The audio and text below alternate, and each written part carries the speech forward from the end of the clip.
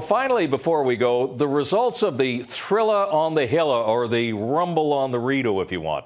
Liberal MP Justin Trudeau in the ring with Conservative Senator Patrick Brazeau. And who won? Well, as his dad said, just watch me. Trudeau pounded his opponent with a series of haymakers, staggering the Conservative favorite. By the second round, it was all Trudeau. Brazeau almost unable to defend himself. And finally, in the third round, the refs stopped the fight to spare Brazeau any more hurt or embarrassment. Now, the stakes were high. The loser would have to cut his hair and wear their opponent's party's jersey. So on Monday morning, Brazeau will need to trim his flowing locks and he'll wear a Liberal jersey for the week. And last night, Trudeau said this win was very symbolic. I proved that a Liberal can take a punch.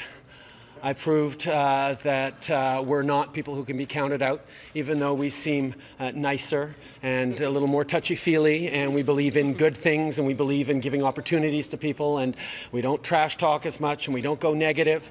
Um, but we can hit really hard and we can take anything they give at us uh, because the heart pushes further than anything else. You know, I was in the military for a short stint and I had uh, a lot less hair than I do now, so hair grows back, but uh, obviously a picture of myself in a Liberal jersey, uh, yeah, that's going to sting more than losing this boxing match tonight.